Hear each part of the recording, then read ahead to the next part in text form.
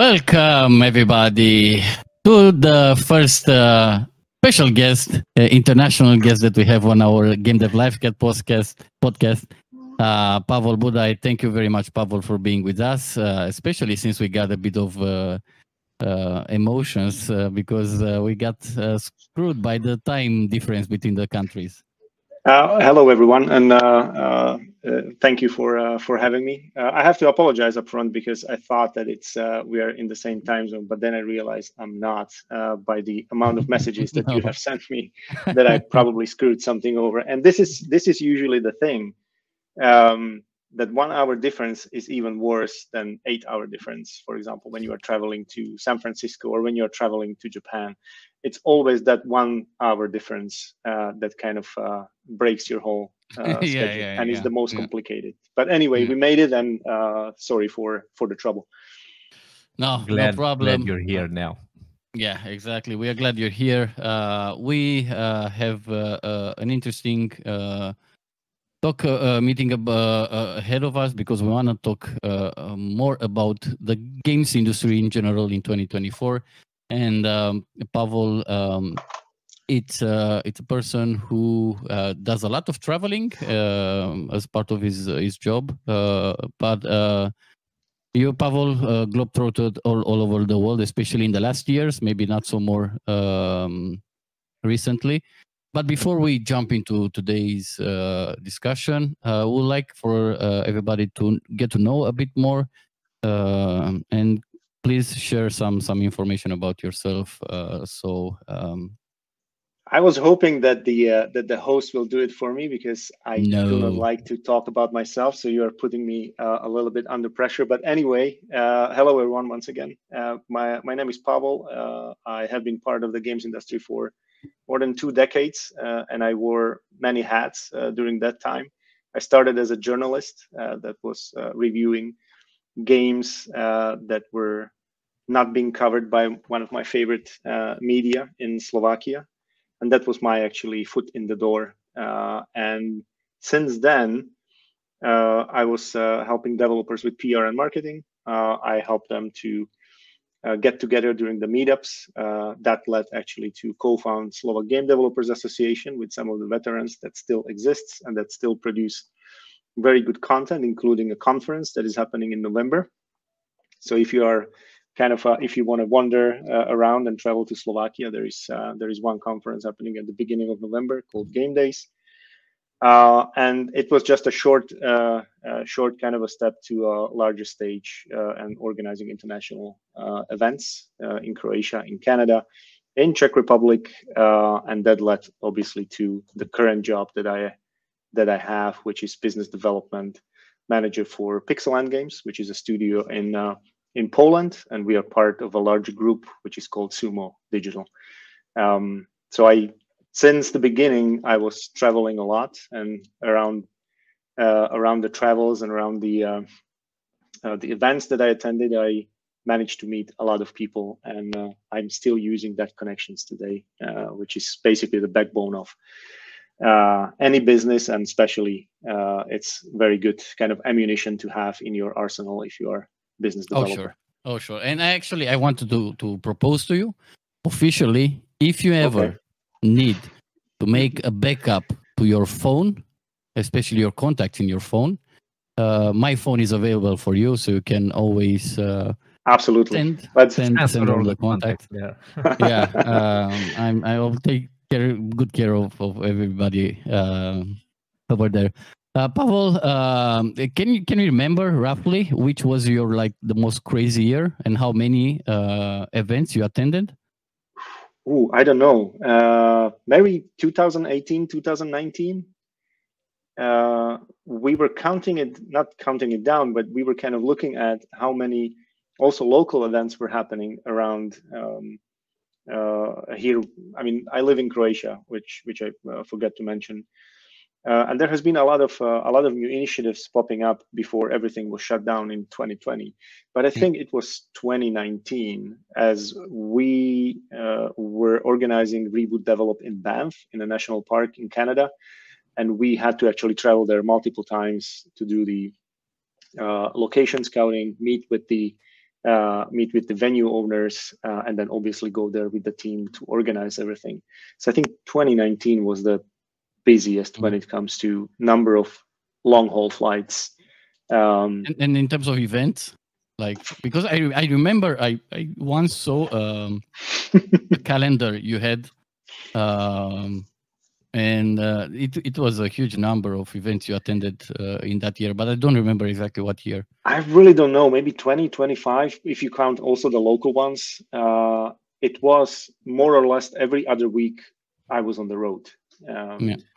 That's, so that's since, since i don't have access uh, to what Andrei has access to in terms of like your calendar apparently his or my contacts. He's contacts, yeah. Andrei, please don't steal yeah. my contacts. So just tell us about how many events do you tend to attend in a year, like a median? Yeah, so I I do have, and this is a very kind of a healthy advice as well, uh, because when you are uh, when you are traveling, you can't do work. Even maybe the employer might kind of expect that you will do some work uh, while you're traveling i don't know and answering to the important messages.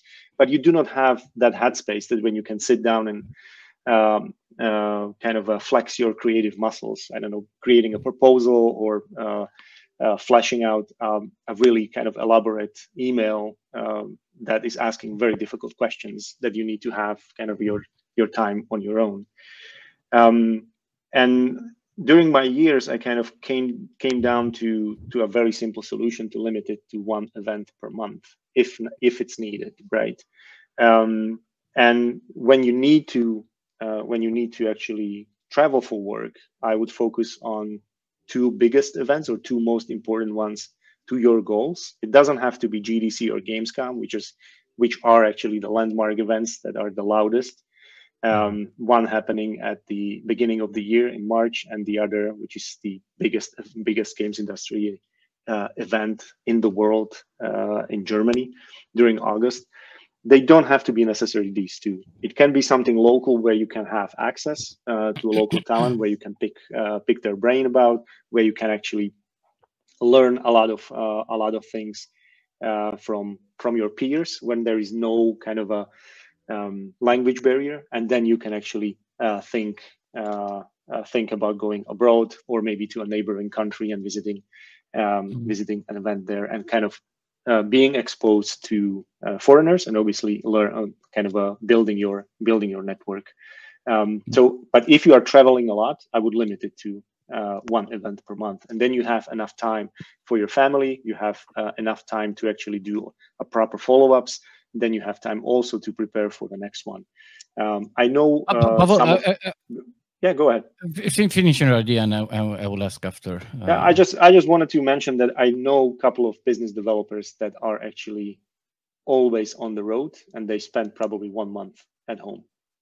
So mm, yeah, yeah. Uh, um, it, it, depends, and you you made a good point, uh, which is which is very important, and and I want for us to break down a bit uh, that point that you made because uh, most most of our audience and, and, and, especially one of the goals of this podcast is to help uh, especially aspiring developers to yep. better under, understand what game development means from all sides business or development wise and um, uh, I, I would actually go a bit back. Uh, you mentioned the the you you go to the events that you uh, have an objective for uh, which uh, I think it's it's a critical question because we in Romania we don't have the habits of going to the events. Um, probably the most common thing is that we don't see the reason why to go to an event. Uh, so from experience, and I'm pretty sure that you know you come you, know, you come from uh, Slovakia, uh, you're living in Croatia. It's still Eastern Europe or, or Central Europe. It's still a lot of things that we share in common in terms of of you know yep difficulties and, and issues at community level. Um, so, uh, from your experience, why should people go to a conference? I would even go one kind of step further uh, and mention yeah, yeah, that sure. even here you have people kind of uh, reluctantly attending events. Yeah. Uh, because, for example, it's not in their walking distance, or they will come up with not a stupid excuse, but they will come up with something that kind of uh, uh, is not making them to to to actually attend. Um, I have been. I have to mention that I have been very lucky uh, since the beginning of my of my career. Even though I was not uh, paid at the beginning, but it was my choice. Um, I was always lucky with the opportunities that were uh, offered uh, and put on my in, in on my table. So I always uh, I always I'll always be thankful for that. So in my case, making new connections uh, and knowing the ecosystem that is around in, in different countries was very, very important. Um, because for one simple reason, uh, the contacts or the people that you meet now, they're going to be elsewhere in 10 years. Uh, if they stay in the games industry, they will probably develop their own skills. If they are artists, they might become art director if they're starting as an aspiring engineer, they might be technical director or there may be CTOs uh, in five, maybe 10 years if they're very, very good. They might be principal, they might be leading teams, and they might be hiring, right? Um, mm. It is very good to have these connections because nowadays you can actually work remotely. You do not have to relocate in many cases. Some companies are still kind of um, thinking about hybrid model, but there is a lot of them that doesn't actually require yeah. you to uh, to move. So that's one thing. The other one is uh, broadening your horizons. Uh, people from different countries think differently. Even we are coming from the same kind of a part region. of the Europe, mm. part of the re same region. We think differently, right? We are living in different time zones, uh, for example. That's that, that's one of the one of the difference. yeah. But we do have different different uh, cultural backgrounds, right? We do share uh, different history. Uh, we are looking at even the same things very differently. And that can actually help you to come up with creative ways how to uh, face challenges, how to solve problems, uh, how to actually connect with others people, with other people, right? Because, for example, if you're meeting uh, someone from Cluj or someone from uh, from Bucharest, you can actually use I don't know slang. You can use different uh, different words, and you can actually connect much more faster. Yeah. Um, and obviously, you are learning learning a lot through things doing together uh, while I don't know enjoying food or uh, mm. going for a drink or going on a sightseeing. It's uh, for me it's essential, right? Because my job is to know as many people as possible and and, and utilize the network and help others to be connected as well. Um, the reason why people doesn't want to you can't actually force people to attend events uh, this is something that we learned the hard way as well uh, we had a similar issue in in slovakia when our smaller conference was part of a animation festival uh, that was actually attracting very skilled people that could be employed by um, uh, games industry uh, and, and the studios that were lacking in art direction or they were lacking in, in, in high quality animation.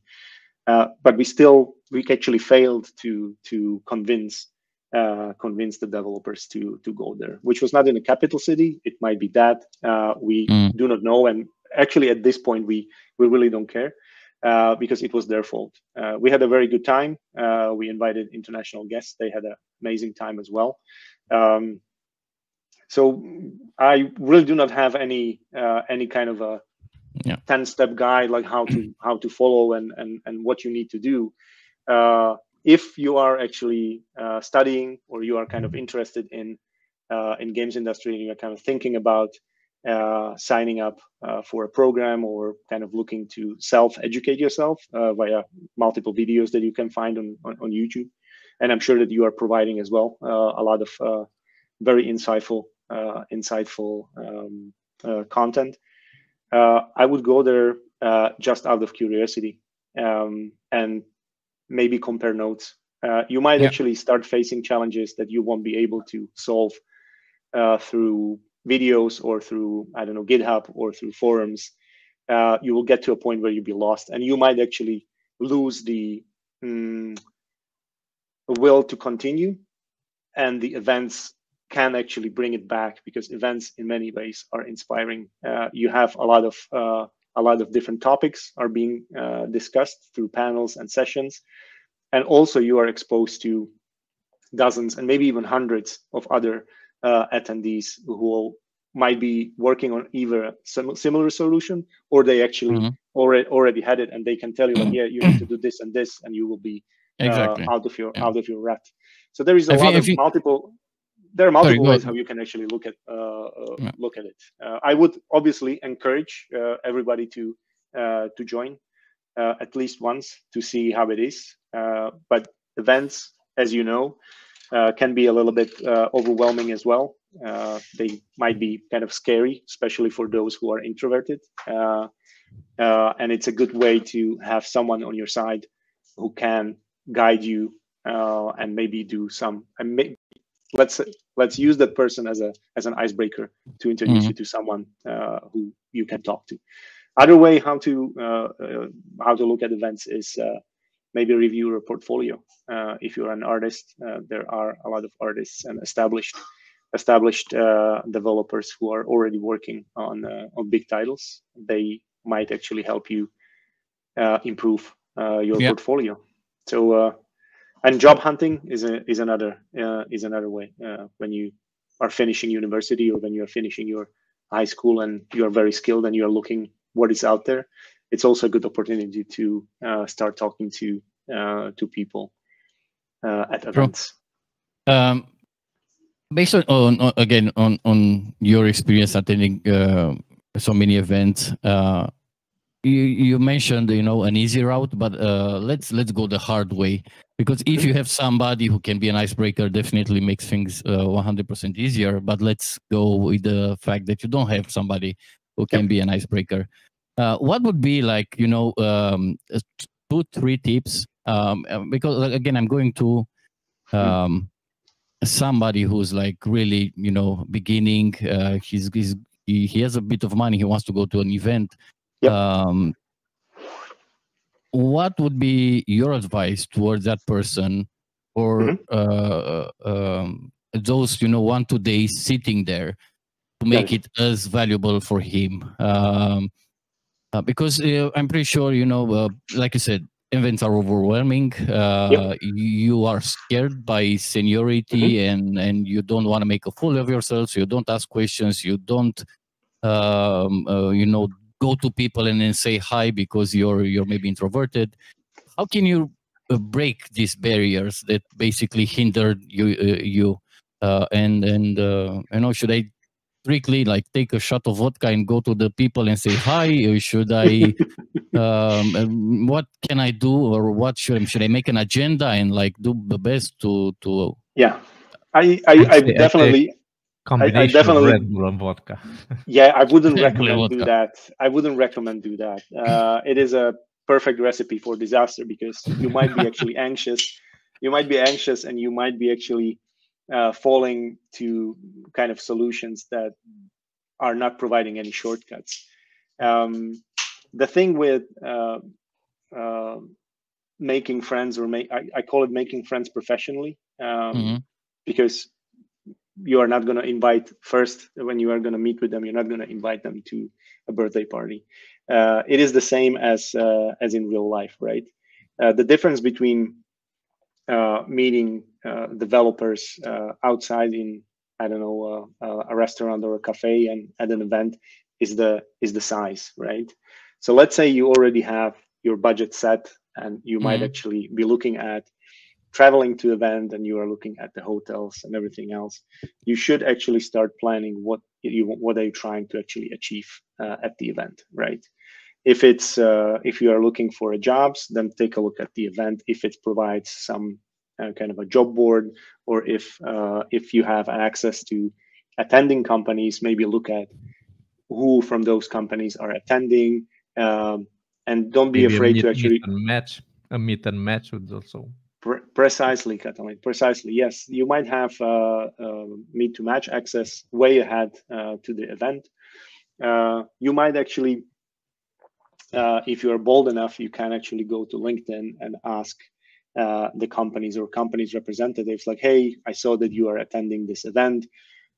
I have a question regarding, I don't know, engineering. I'm student, and I'm looking for for some answers.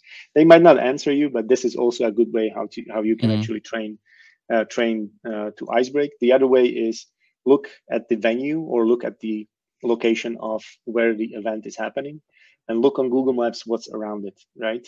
Uh, if there are cool spots to see, if there is a uh, if there is a cool restaurant or if there is a cool bistro, because people like to actually go and eat yeah, food. Exactly. Uh, they're looking for recommendations, and you might be the one who will be asked like, "Hey, uh, we are new here. Uh, do you know any any cool location where we can actually uh, eat food?" And you can say like, "Yeah, there is one around the corner. Come with me." And immediately you actually made friends.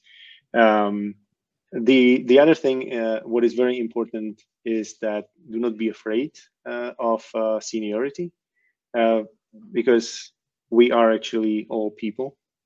We are not kind of a um, uh, put on a pedestal uh, or anything like that. Even the uh, the industry legends are the same. we can talk about the weather as with your neighbor or anybody else. Um, so I would say that these kind of things will kind of create a barrier between you and potentially some industrial legend. And if you are a very uh, huge fan, just ask them for autograph or ask them very stupid question like, "Are you here for the first time? Me as well. Have you seen anything yeah. interesting?" Right? Because uh, they don't don't they ask visiting, them for money. No, no, no. Don't uh, obviously not ask them for uh, for money or anything like that. And, and obviously, uh, there are kind of no stupid questions, but make sure that you you uh, you are actually yeah. aligning with your goals, right? Uh, yeah. Don't make fool of yourselves obviously respect everybody uh, and treat everyone as you would like to be treated uh, at an event, which is uh, which is something that sometimes we we tend to forget uh, um, at different times. Uh, but the most important ones are the goals, uh, and try to actually write them down in a in a smart way, meaning that you can kind of measure them if you were successful. So if you are trying to um, build your network, then write it down. During these two days, I want to meet or I want to make five meaningful connections and I want to have, I don't know, 10 very nice conversations. Uh, it's really achievable, it's measurable, and then at the end, you can actually uh, reevaluate uh, if you if you were actually successful or not. Same goes for uh, for job hunting. If you are looking for a job, usually at events are HR rep representatives. Um, mm. You can actually measure that as well, talk to five uh, HR uh, HR representatives, or actually go to 10 sessions and ask 10 questions uh, when you are learning and kind of broadening your uh, your horizon. There are multiple ways how you can um, uh, how you can do that, and obviously it, it comes down to what type of event you are attending. Not all events are the same. Not all events have the yeah. Uh, have the components. Um, and I would start with a local one because you might actually know someone there. You might actually be a little bit uh, more. Um, you might actually uh, have information about the local industry. You might actually know the games mm-hmm. that the companies did, and you might actually start with that. Hey, I'm a huge fan of uh, Door Kickers. Uh, how did you create it? I don't know the sound uh, in it, and yeah, bam, yeah. you have a question, and you can actually start uh, start having a conversation like this. Yeah. Uh, I, I, I 100% agree, and I think uh, uh, this this advice is really helpful. Uh, it makes makes it easier for everybody. So you know, uh, uh, as an icebreaker for you, write write your goals, write write a plan of action to make sure that you stick to to your goals and actually manage to to achieve what you plan for. Um, Moving forward on this topic, uh, Pavol. I, I wanted uh, to ask also ask something that is quite related to what Pavol said until now. Uh, sure. Because I, I totally agree with you that conferences can be truly inspiring. They can motivate you. They can put your work in context. But in terms of uh, indie developers, like indie mm-hmm. teams, mm-hmm. uh, we tend to have quite limited budget. And going yes. to at least an international conference it tends to be quite costly and sometimes mm. that cost can represent a big chunk from our from our budget uh, how do we convince more developers that that cost is not wasted that it's a good investment and how can they make sure that they get a good return on investment on that on that cost what are like the the most important things you know business wise that you can get out out of a of a conference because sure inspiration is great but when you have yeah. a very limited budget that's not going to pay the bills right uh, talks Absolutely. are also amazing but you can find hundreds of them on youtube so you know that's true that's true and we are kind of living in a completely different different times after after covid many of uh, um, there are multiple ways how you can actually be at an event and you don't have to travel uh, a lot of there are a lot of showcases around so if you already have something built if you already have for example a steam page and you may have um, already a demo built and you can actually go out. There are there are actually multiple ways how you can sign in for showcases. Uh, usually there are uh, free of charge uh, for submission. Some of them are actually asking for a submission fee, which is not a huge uh, huge amount. Um, it is ranging from fifty dollars to two hundred and fifty. Um, which is still less when you would uh, travel somewhere travel, yeah, uh, and, ha- and have a hotel yeah. and buying a uh, buying um, buying a conference ticket. And on top, a lot of these events have Steam page attached uh, to it, right? And in this age, uh, community and wish lists are everything. So in this sense, you are actually building your uh, your wish list uh, immediately. While whilst uh, if you would be at an event, the wish list would be and there is no Steam page uh, where these games are being showcased, uh, the wishlist is not growing that that fast, right? Um, so I would actually look at what are other events uh, out there that are offering for indies uh, showcasing without participation on site, because there are some that have all these all these components mentioned, but they still will require to be uh, on site. So you have to actually travel uh, to these. In this sense, I would actually pick just one uh, stick with it because they are actually costly. Uh, and when you look at cost effectiveness in this sense, uh, I would stick with the virtual ones. Uh, there is tons of them. Obviously, the big one is Steam Next Fest, which is getting more and more uh, overcrowded. I think the one that is right now running has around 3,000 demos, which is ridiculous. I remember when it started, it was around seven or 800. So it yeah. grew, it grew very, very quickly. Um, and in this in this case, you can have the demo on a Steam Next Fest only once, so you can't repeat it. So you have to be really really careful uh, with planning uh, and read all the small letters as well because well uh, you can't repeat your uh, um, your attendance in this uh, in this event.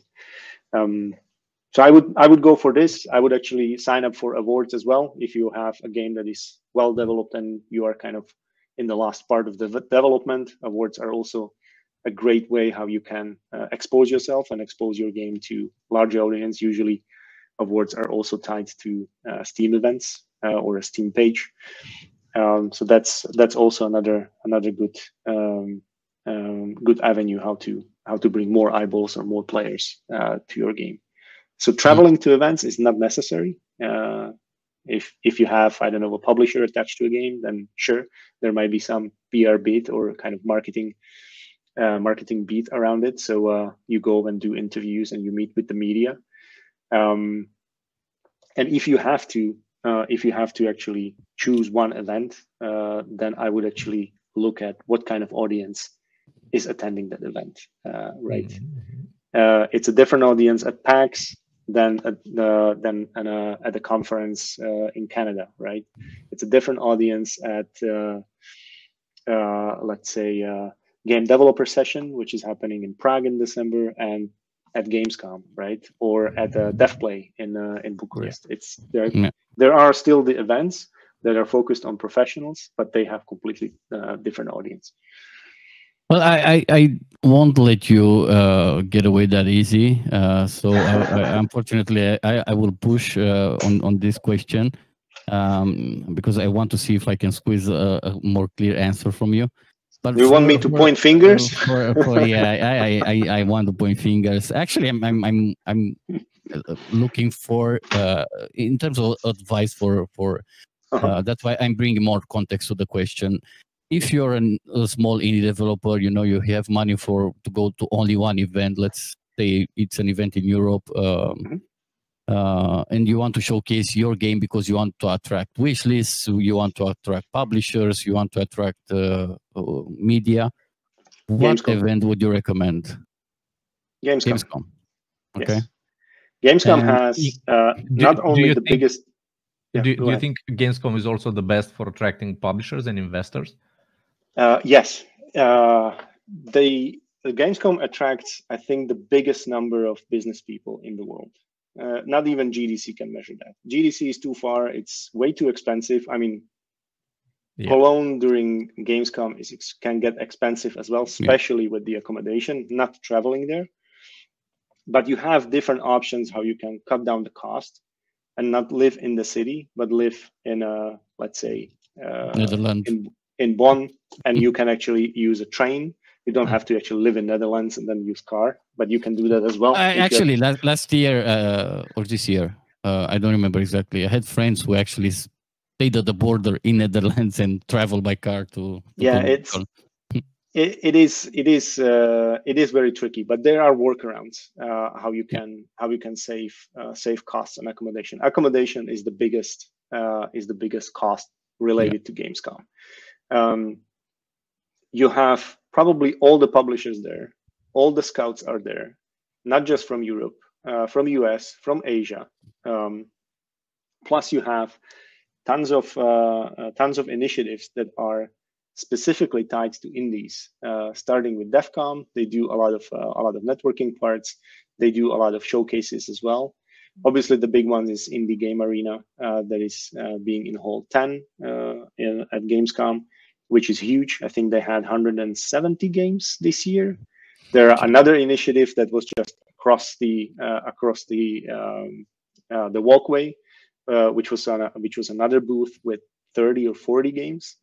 Um, there is a lot of actually options how you can uh, expose uh, your game. And also, it's very important that if you are looking for wish lists, you want to be in consumer area, uh, not in the business area. In business area, yes, it's kind of good to meet uh, publishers, maybe investors, or actually have meaningful conversations with media and influencers but when it comes to the wish list, wish list, it's uh, it's kind of a necessity to be exposed to the thousands of people who are flocking into Gamescom and they're trying to actually play as, man- and as many games as possible. Uh, Gamescom, I would I would say I would say is very important. There are other big events that are attracting a lot. There has been there has been there has been actually two events in UK. One was called Rezzed. uh, the other one was called WASD, which was a spin-off of Rezzed. Yeah. Yeah. These two were focused uh, focused only on indies, which was absolutely amazing because you could talk to Nintendo, you could talk to PlayStation, you could talk to Xbox. It was not crowded. It was only a couple of thousand people uh, during the weekend, but when you were exhibiting there, it was absolutely beautiful. Um, so these two events uh, no longer exist. I hope that they will bring it back, at least the WASD. There is also the new uh, Eurogamer Expo EGX, uh, which is part of a ReedPop.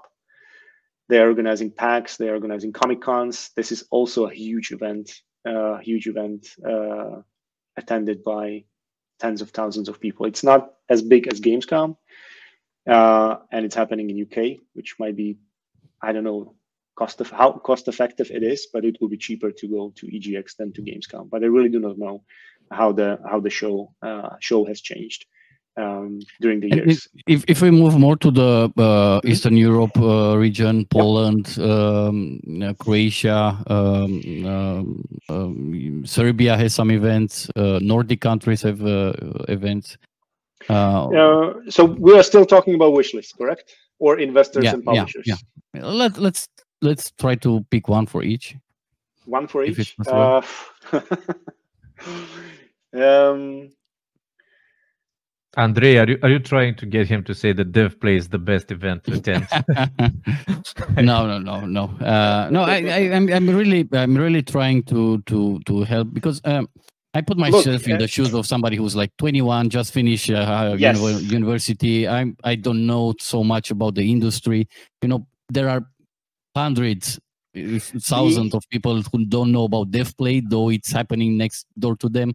Um, they don't know what to choose, where to go, what's interesting mm. for them. You know, we said make goals, but actually making goals it's complicated it uh, because you uh, don't know what it is important for you at 21.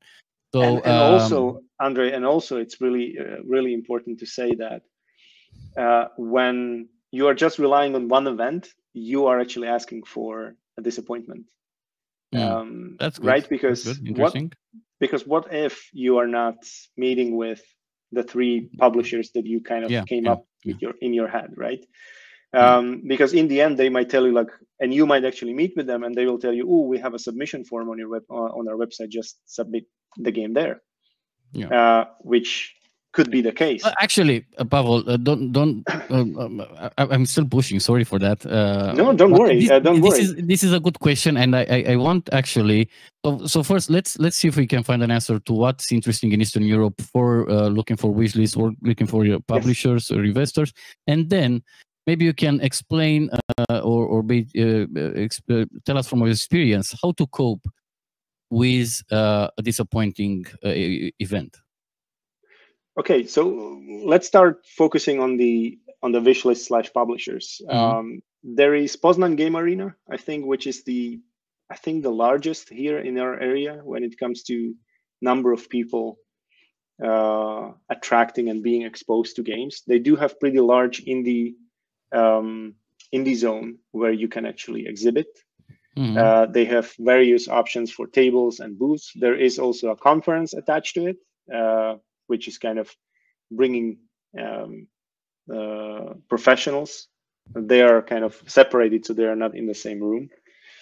Uh, so I would kind of consider maybe Poznan Game Arena. Uh, I haven't been there for I think four years, so I do not know how it changed. Mm -hmm. um, but it is still pulling in a large amount of numbers, uh, number of attendees.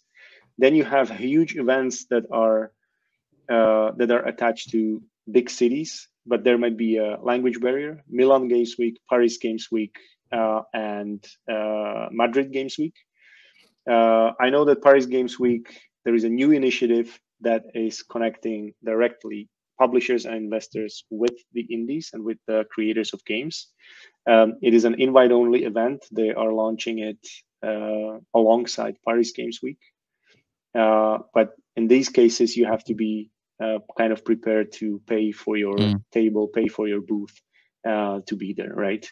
Um, and uh, when it comes to uh, meeting publishers and, uh, and and talking to them, it depends to whom you want to con uh, to whom you want to talk to, with whom you want to connect because not at every event you will have PlayStation or you will have Nintendo representatives or you will have Devolver and Raw Fury and uh, and these uh, well-established brands. Uh, so in this case, I might uh, utilize your social network. Scouts are there; they're listed on Twitter. They always actually go for uh, retweets and and they are promoting other interesting ideas. Uh, they are browsing through Steam uh, so Steam page is, I think, a must. Maybe we will talk about it, like what's very mm. important for for publishers, uh, publishers to see. But if you want to just meet with them and hang out with them, there are multiple events where you can just bump into them. Gamescom is one, obviously. Um, you might not find them in the exhibition halls, but they are usually in a different hotels, in a different lobbies. But that's, I think, another uh, kind of a topic on how to tackle business development and not to be overwhelmed or, or yeah. disappointed. Um, reboot in Croatia is uh, is pretty nice. I heard. Uh, I was uh, yeah, I was, I, I was organizing I don't know it. about it. I don't know. and, uh, and I'm and I'm I've biased. been to only I've been to only six editions, so they. yeah. Thank you. But you, as I, I mentioned, the uh, Paris Games Week has a new initiative, which is actually tailored focused on on indies and connecting them with uh, with publishers. The smaller event it is the more higher quality of conversations you will have with uh, with these uh, representatives who are going to be there. Usually you have also initiatives uh, from trade bodies. Different states have different uh, different states different countries have different associations and trade bodies and usually they are organizing uh, publishers trips either around the event that they are uh, having for the public. They are bringing in five to six publishers, uh, meeting with uh, with the uh, with the local talent, usually through pitching pitching session, and they are being exposed uh, to um, to the games that they are uh, being created in in the specific country. Mm. Um, so that might be another way how to actually sneak in and piggyback on someone else's uh, initiative if, if it's available for for public to attend Nice. Cool, lovely. I I got an answer. Uh, now let's go to the hard uh, harder part. Uh, let's disappointment. So you, you you you use all your money to go to an event. You meet nobody or whatever reasons. Uh, that event is disappointing. Yeah. Um, you usually have the habit of saying like everything is like this. I won't do it anymore. Uh, and, it uh, happened. it happened a couple of times. I uh, I would be lying uh, if I would say otherwise. Um, but it comes down again to preparations, right? And not specifically to to the goals that we have been talking about.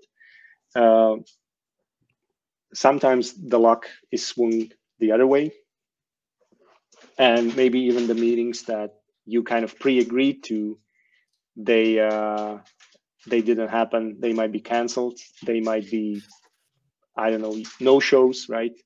Uh, in some cases, uh, you can get ghosted. Uh, so you have a really nice conversation before, and then when you need to kind of commit to to a meeting or commit to a uh, having a call, suddenly the person is uh, nowhere to be found. You do not know, right, what's happening. Uh, it is not about that you are um, that it's you uh, that's usually kind of how our brain works. Oh, this is an excuse. It's not you, it's, it's, me. It's our fault, yeah. But you really do not know, right, what might happen. It's true. Uh, it's true. It's true. Um, I really do not know like how to how to can actually respond to that. I walk a lot, so when something like this happens, then I'm trying to uh, evaluate why it, it did, hmm. did it happen, what was wrong, if it was my fault, if it was the uh, I don't know the weather, if it was I don't know the traffic, if it was the quality of people that were attending the event, because you might have different experience next time uh, when you go, and then suddenly something happens, you meet someone interesting, and that someone will lead you to amazing conversations, right? But you can't bet on serendipity, serendipity, or how yeah, do you yeah, say yeah. that? You can't actually you can't actually bet on it because it's unpredictable it can happen. It sometimes it doesn't happen, uh, and sometimes uh, you have a very amazing meeting or conversation on the sidewalk while you are walking to a meeting. That happened to me multiple times. Uh, I managed to actually uh, get a sponsor on board while while we were walking to a different event. It was not prearranged. We just met each other, say said hello, and then we just pitched to each other like what we are doing, and like, oh, okay, let's do it. Um, so I wouldn't rely too much on it. Uh, it's uh, it is I think part of our life to be disappointed. There is always a learning in it. So look at it from the bright side that you might actually have. I don't want to say like really bad experience at events, but they might be uh, in some ways disappointing. Um, but that that doesn't mean that every edition is the same. No, of course, every each edition is different. Each each uh, edition of the same event uh, exactly. is bringing and attracting different people. It is attracting different uh, different uh, the whole crowd, um, different guests, different speakers, uh, different games, uh, and you are meeting. you are actually going there in different time, and your headspace is different than the year before, right? Yeah, if I if I can add something it's like you know making anything like making games. If you expect that you're going to make a game and you're going to be successful from the first time you're just setting yourself up for disappointment.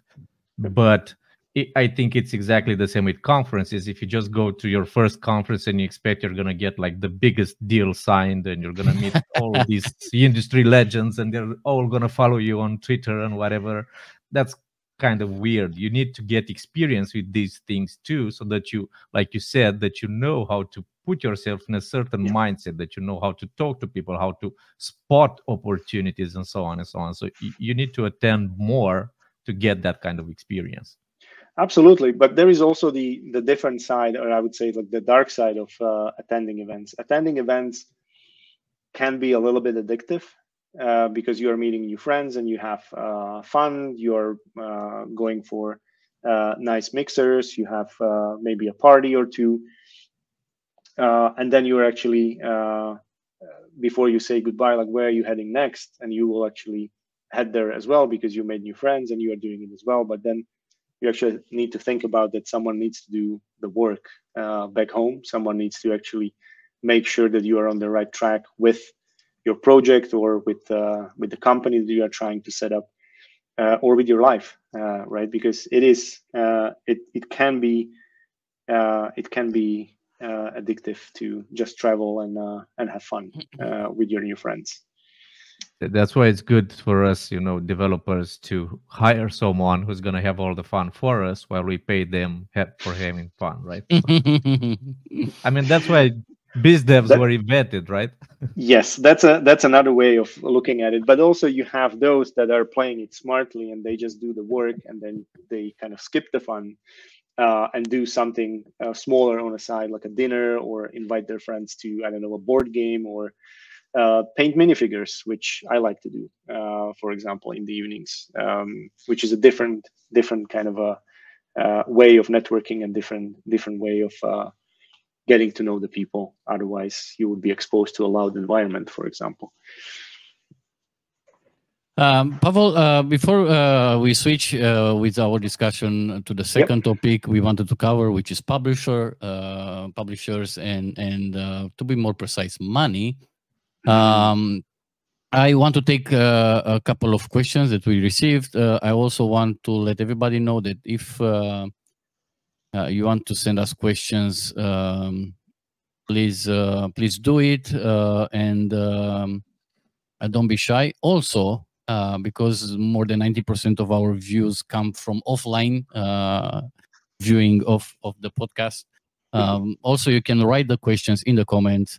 Um, we'll um, uh, talk with Pavel and uh, uh, ask him to to answer those questions as well and uh, you can reach out to linkedin to my linkedin as well if you if you're not shy uh, just reach out to me on linkedin if you have yeah. any any question yeah. and you saw this recording so shout out to everyone who was watching it from recording uh, so one question we received from Radu, uh, who's asking that uh, lately more games have appeared which explore culture closer to the East. I feel uh, like our culture is insufficiently explored. I believe he's mentioning Romanian culture or Eastern European culture. Mm-hmm. Um, could this be an advantage for us Eastern Europeans? Does Pavel agree? Um, what do you think, Pavel? I agree. Uh, I totally agree. Uh, there are a couple of uh, couple of people uh, out there who are uh, studying this, or they're trying to actually um, bring more, or actually expose uh, the creators to be more inclusive, specifically to cultures that might be actually dying out. And one of the example, and this is uh, um, this is a self promotion plug. Uh, our group has. Uh, Let's do it. We need money. Uh, we have a studio in our group called the Chinese Room, uh, the Dear Esther uh, developers, and they recently, recently, a couple of months ago, they released Still Wakes the Deep, um, which is set on an oil rig during I think 70s or 80s please don't kill me uh, if I'm wrong. Um, and it is set uh, on a Scottish uh, rig, uh, and they did original uh, voiceover as an alternative in Gaelic, mm. and mm-hmm. it is a language that is almost extinct. Only a couple of hundred people speak with this. Which probably don't play video games, but uh, probably but they are actually coming from these uh, from from these cultural backgrounds right their grandparents mm. uh, might might have uh, spoken and they might actually speak it as well uh, so you have these kind of instances where things like this can uh, make or break the experience and add kind of a layer of authenticity mm. to this i i haven't finished the game yet but i'm actually playing it with the uh, Gaelic voiceover. Uh, it is completely different. So you have to turn on the hmm. subtitles mm. because obviously you do not understand that. Similarly to uh, this is an obvious uh, example, Witcher, right? Uh, but even the fir- in the even the first one and the second one, um, you could play in a in a Polish voiceover, original uh, original yeah. voiceover, and and it did, and it's and it kind of uh, it sounds different. Uh, it sounds like the books. Uh, it sounds very Eastern European, right? So there are a lot of ways how you can uh, how you can do it. Obviously, you want to expose your game to as many people as possible. so you have to think about that as well. So you can't actually create a game about um, I don't know a weird corner in the city, um, and because only people who are actually know about it or who are actually living yeah, close to it might it. might actually understand it. So mm. in that case, it needs to be it needs to be uh, accessible. Uh, Disco Elysium is another great example.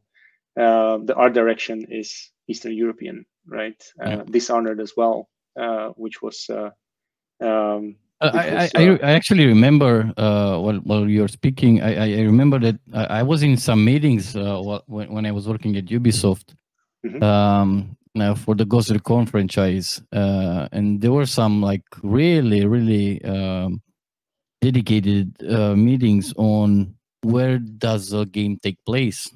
Yeah. And and I remember that the heated debate was uh, in, in, terms of like people don't know about this location.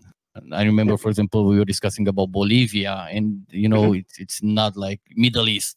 No, uh, everybody like you know, you have uh, the the the games like usually between you you know Russia, uh, uh China, US, and like people were from marketing was like no no no let's not do bolivia because like nobody know where bolivia is and what it is. And uh and there were like a couple of weeks for for like choosing a location. Where does this action take place? And we need to make sure that we can find a location that people can relate to. Even i mean you are absolutely correct but there are big games uh, like stalker uh, the upcoming one um, heart of chernobyl which which is set obviously in Ukraine, right? Mm. Uh, in the in the zone around uh, Chernobyl. Okay. Uh, also, Kingdom Come, uh, which was developed in in Czech Republic. When I was playing it, I knew that I am in the woods, that I was uh, I was there as a kid, because the mm. trees uh, are are actually growing in my part of the country as well. Mm. Um, so you have these little things. It, as i mentioned voiceover can uh, can bring this uh, or actually can expose um, some of the weird uh, languages or weird kind of uh, language that is being spoken in, in certain part of the world.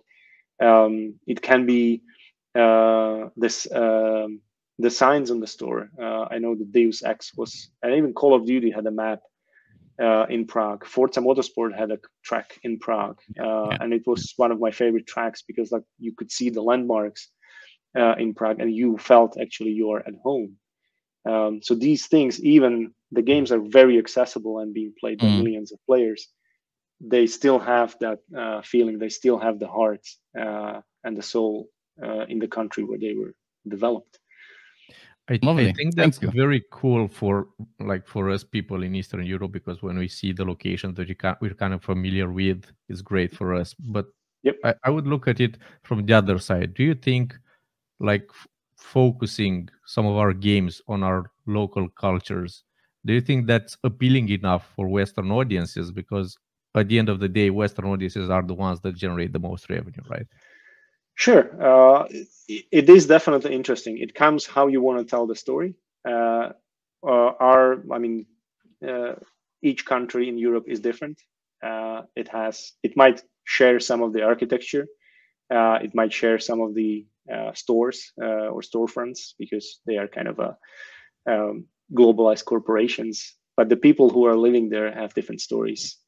they went through different kind of cultural shifts uh, there was still the communism in a lot of uh, a lot of the countries we were living behind the Iron curtain. curtain. So uh, these kind of stories, um, I think, are waiting to be kind of retold. We just need to find them. Yeah. Uh, and if the story is very gripping, it's it doesn't matter where it where it happens because it comes down to uh, the individuals. It comes down to how complicated the characters are, um, and you can actually uh, relate to them because if it's told right, then uh, you're not looking at a hero movie, but you're looking at or actually experiencing a, a story of ordinary people.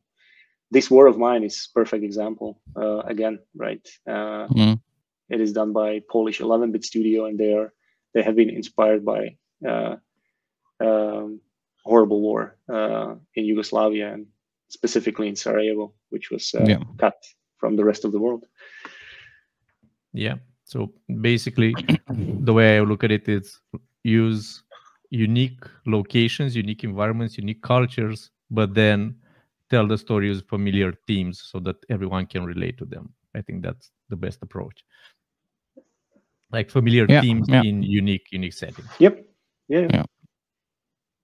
Um, let's let's switch to the to the publisher uh, part of the discussion uh, because we we uh, as developers need um, their support to to uh, transform our games into successful story.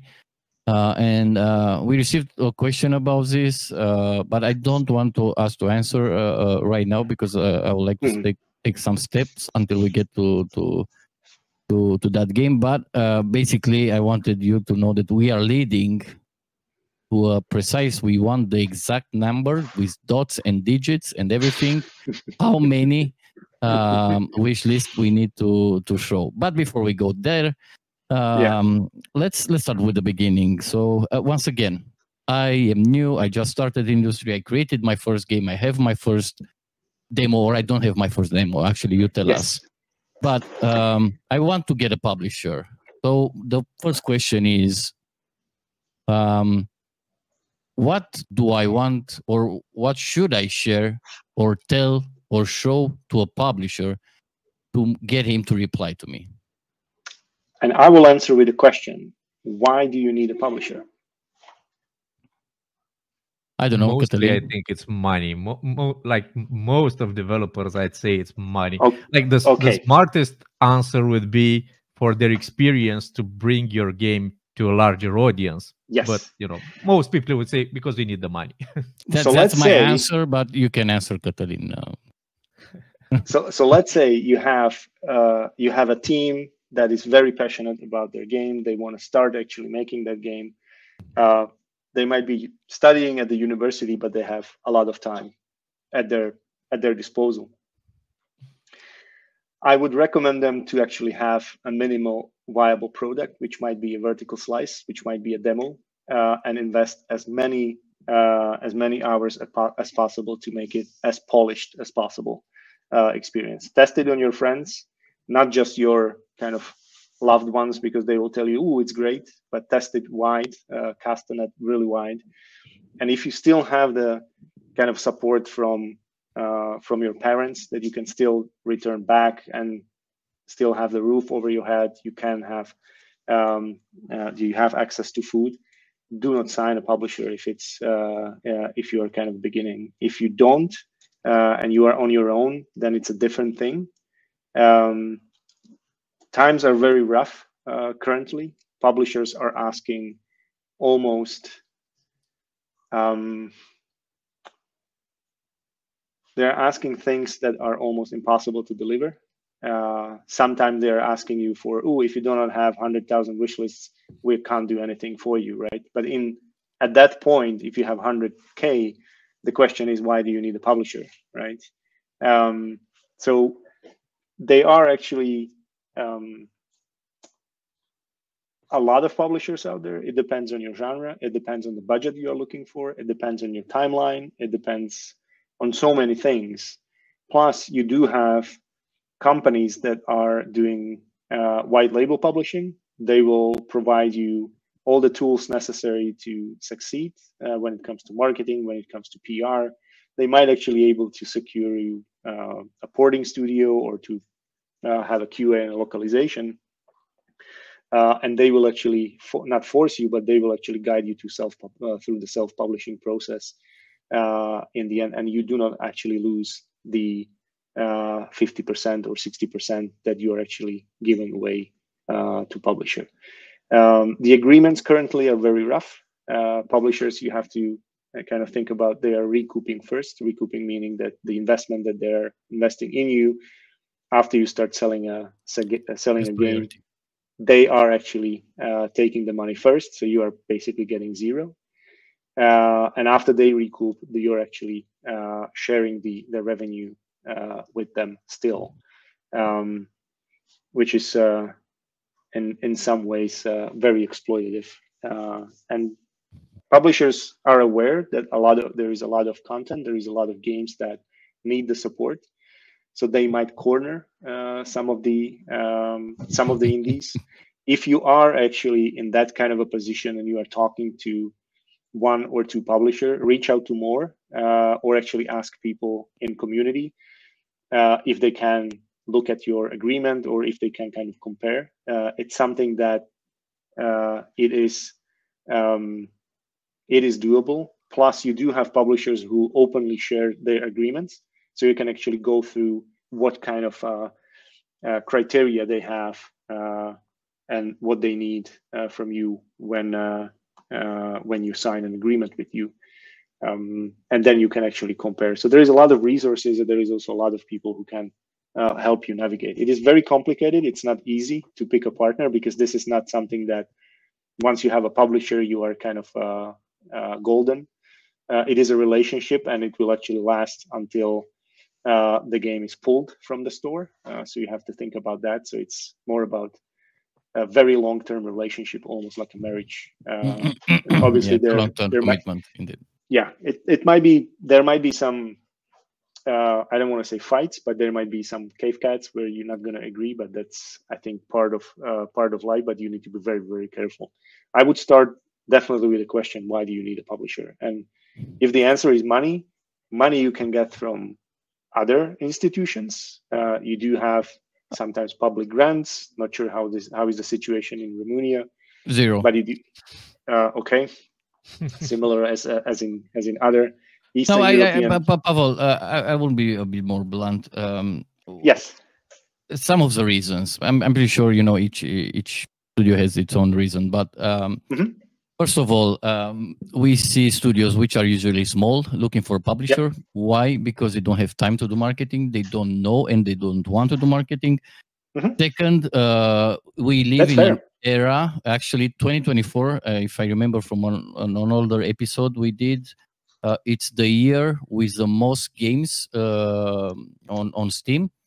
So the noise is probably the loudest yes. as ever. So you need somebody to help you make you a bit more visible, yep. and you don't know how to do it. How to do it? You don't know how to write to to influencers. You don't know how to approach them. There are so many unknowns, especially when you're 2021 first, yep. maybe a uh, second game.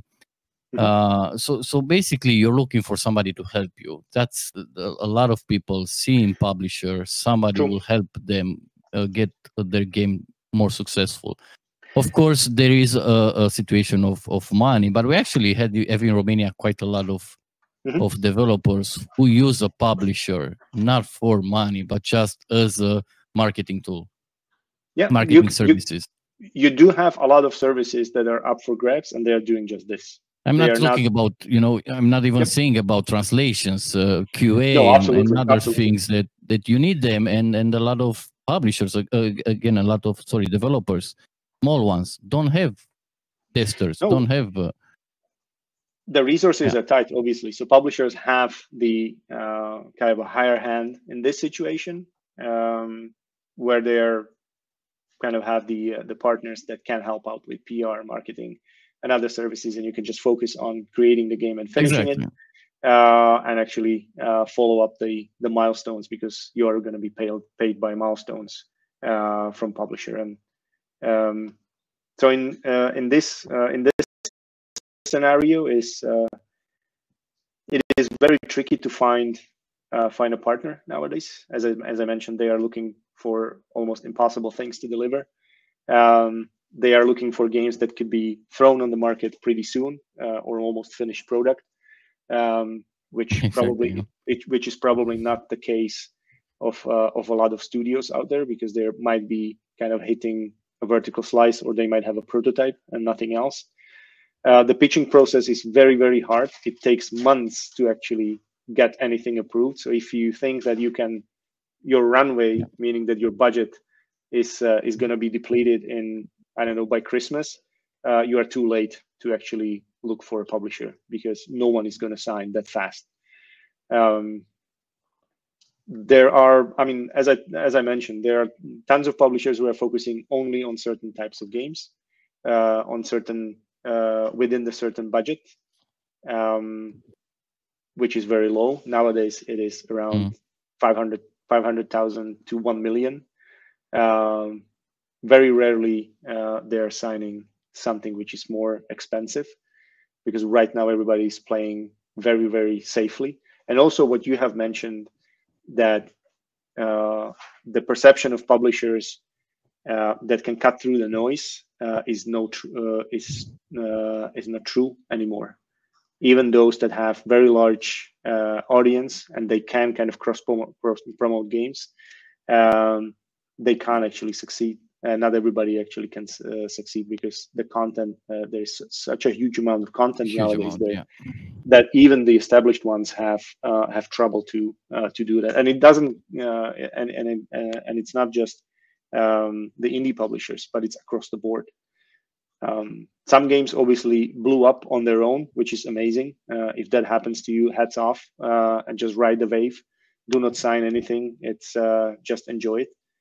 Um, but in many cases uh, it is basically like a winning a lottery ticket uh, and even when you sign on the publisher which you already won a lottery at that point you still actually do not have a guarantee that your game mm-hmm. is going to be successful and that it's going to gain um, uh, a huge uh, and start actually uh, selling really well after after the launch even if your yeah. wish list is massive so going back to the question what would be a good yes. number well I, I mentioned it already. Uh, 100k is, is a pretty safe bet. Like, yeah, uh, we will we will we'll kind of look at it.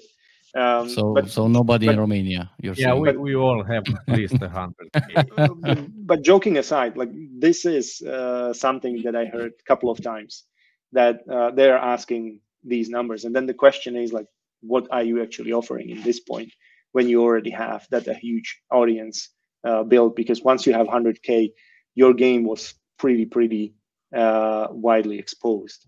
Um, but it doesn't have to be obviously uh, this kind of number, right? Uh, if you already have a Steam page and you have a kind of a good track record that you can actually show, um, I really can't tell. Uh, I have been pitching from a different position, uh, so we are not talking about how many wish lists you have, but more or less what kind of team we we have to build this game. Uh, so we we I didn't have that kind of a conversation. So I can't really tell. Uh, uh, I would be uh, lying at this point. But the 100K, I, I heard it a couple of times during Gamescom, which is ridiculous. Um, there is another question. It's actually uh, the same. Uh, it's our AI bot uh, on on the channel. he's asking what are some game niches that are a big no from the start for a publisher. Are there any hmm. dead genre? which I find a good question for for from him. Um, so gambling, gambling is one of them. Uh, no one is touching that, even though there is an, a huge audience for that. But usually, these type of games are not being shown at the events that we have been talking about. Similarly mm. to adult type of games, uh, which has a large uh, audience, obviously. Um, it is it is really interesting question because a lot of the the publishers will tell you if you if you find if you find uh, uh, if you have found a nice niche, uh, then we are actually interested in that, right? Um, because that niche could actually uh, lead to uh, to a large audience. So you really do not know. Um, mm, lately, there has been a lot of card games uh, or deck builders. so nowadays, deck builders are is a is a component of of of a combination of of different different genres. So it's not just mm-hmm. deck building, but it's I don't know deck building survival slash roguelite slash Metroidvania, right? So the kind of the pure genres like Metroidvania, for example, you need to be as good or even better than Dead Cells, which is pretty tough. Uh, yeah. Beat um, similarly to deck builders, right? So you have tons of them on mobile, you have tons of them on on Steam as well. So you're actually competing with them, and if you can't be better than them, then you're not gonna uh, you're not gonna succeed, and the publishers will actually not gonna touch that kind of a game. But if you combine these two uh, genres together in very interesting way, um, yesterday I was uh, I was playing a roguelite. Pachinko game, uh, which was mm. which was very interesting. And you were putting kind of the new unlocks to the board, and the and the ball was falling and generating was generating score, which was which was very interesting, right? Um, and if you remember, there was a small game, uh, poker game called Balatro, uh, and it blew out. And it's a card game, a traditional card game, and look mm. at it. Um, so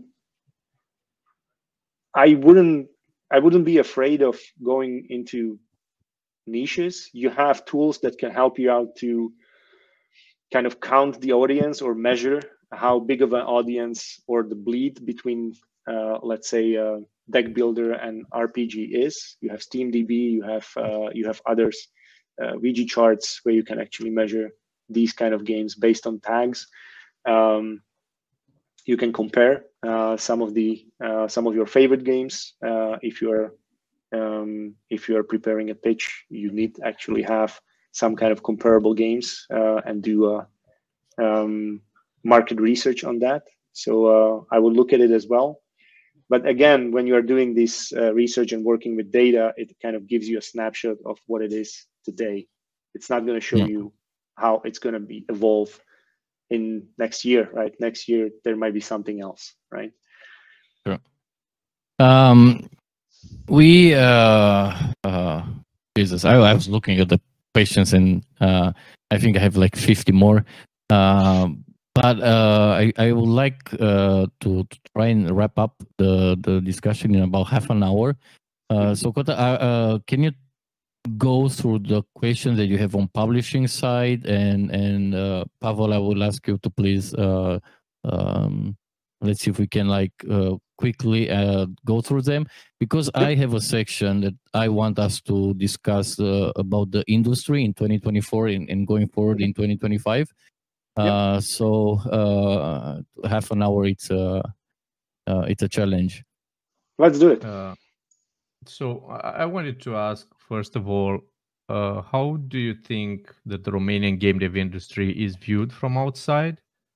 Mm -hmm. how does it compare maybe to other countries in, in Eastern Europe? Because this sort will tie to my next question uh, regarding publishers.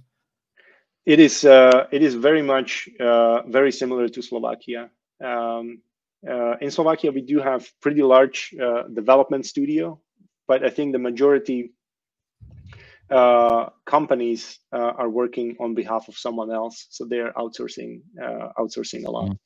Mm. very similar situation is in is in Portugal um, these countries are being utilized uh, as a uh, as a cheap labor. If I would be very blunt, yeah, yeah. Um, you you do have a lot of opportunities, obviously, to learn uh, while working on larger titles with a larger team in large organizations, um, learning the processes, learning the tools. Uh, but then again, if you do not have uh, ecosystem built around that, that is tied to universities, that is tied to um, kind of a capital, either from uh, from investors that are local, coming from outside of the industry, but also inside of the industry. And obviously, if you do not have any state support, um, you are kind of left on your own, uh, and you are relying on uh, private educational program, private uh, maybe uh, schools or private uh, kind of summer schools that are happening, and they're trying to kind of capture and uh, motivate uh, uh, motivate the youngsters to get into the industry because there is still shortage of talent and shortage of talent um, uh, is going to grow uh, for sure right? You have a lot of opportunities uh, outside. You do not have to move so you can actually work from your from your home and be in a let's say cheaper country and have a nice salary um, that and then you will you don't have to move and you yeah. have a very very very comfortable life uh, in that. So, considering that, do you think that like if a publisher sees a pitch from a, a game studio in a in our country or oh, country in no, history or no. do you think that has any influence? Like they consider no. riskier or anything? No. No.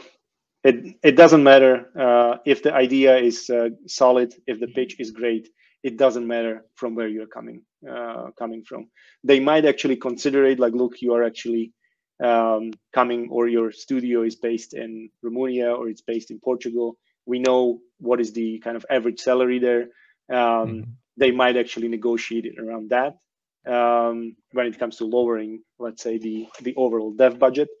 Um, but you are always asking for more, right? So you always have that room to negotiate uh, mm. with uh, mm. with a publisher or a partner. But it, mm. when Could it comes you... to ideas, it doesn't matter. There are no there are no kind of borders. There are no um, kind of thresholds that if you're coming from this country, we're not going to talk to you. you know? Could it help maybe the fact that uh, salaries here are somewhat lower than in other countries? Could it that help? Absolutely. Absolutely. If you have access to great talent, then you can actually prove that you can deliver. Then you can actually mm. uh, land pretty nice, uh, pretty nice deals, um, and not just from publishers, but if you consider co-dev or outsourcing, uh, you are actually have um, upper hand compared to Western Europe and Western. In your case, I'm meaning Poland already, which is still considered Eastern Europe. Uh, so, like the larger markets even even our almost neighbors are becoming Western Europe, and we're still Eastern. yeah, we are still Western still Europe is starting from the border, our border. Uh, what what does a, um, a a publisher considers a great pitch? Hmm. That's a very good question. Uh, if you see, I mean, you can observe if you are meeting in person, you can observe the body language uh, you can observe if the person is looking at the screen or looking at you when you are explaining, or if you are having you're in kind of a defensive position with your kind of hands uh, crossed, or if they are leaning forward, that means that they are very interesting. Mm-hmm. If they are looking at the phone, you know that it's something's wrong. Uh, something's wrong, or if they are looking at a uh, at the watch, it's something wrong. Uh, either with how the pitch is being presented or the pitch itself. Um, and, in terms of, of slides, are there any slides that are, that are like a must have? There are. There are actually good kind of templates that are out there. I think Rami Ismail did one. Uh, then I think Gwen Foster uh, from is she with Among Us or not anymore? Or I'm confusing with someone someone else. Um, uh, she did a template as well. Mm. What needs to be in uh, in a good kind of a pitch. But obviously, you need to make it on your own. It can't be just like you will follow uh, exactly. uh, follow the template. It needs to stand out. Obviously, if you are uh, if you are looking for um, for a publisher, it needs to be very gripping. It needs to be very nice to look at. It needs to have GIFs inside instead of videos. Uh, it needs to be polished. Uh, I think over polished. I would say.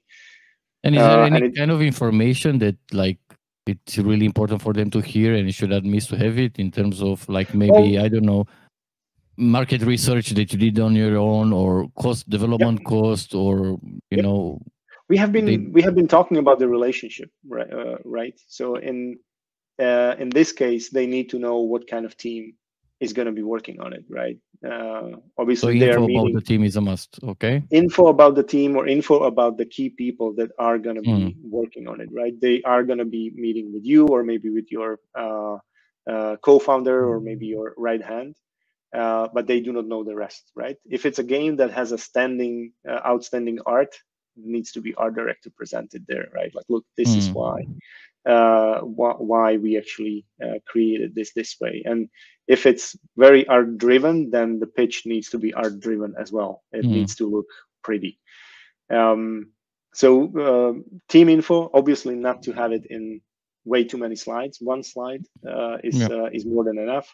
You need to have the USPs there describing why the game uh, is unique and why they should actually invest in it. Uh, which is also very important because you are asking them for money. And the question mm-hmm. is like why they should actually invest. Uh, so the team, the game, uh, and obviously the dev budget needs to be uh, somehow broken down into different stages. Uh, you need to be ready as well to kind of scale down a little bit the budget. if they tell you, okay, you're not going to get half a million, you will get 300,000 how much or how much you need to cut from the game if it's even possible. Mm. Um, this is also uh, also important. Obviously, you need to have something. In, in, in so, would, you, would, would you go, recommend go, go, that you that you ask for a bit mm. more money so that you absolutely have from absolutely absolutely you just don't count it like the bare minimum you need to have a nice kind of cushion Triple because, time. yeah, well, to go there. well, yeah.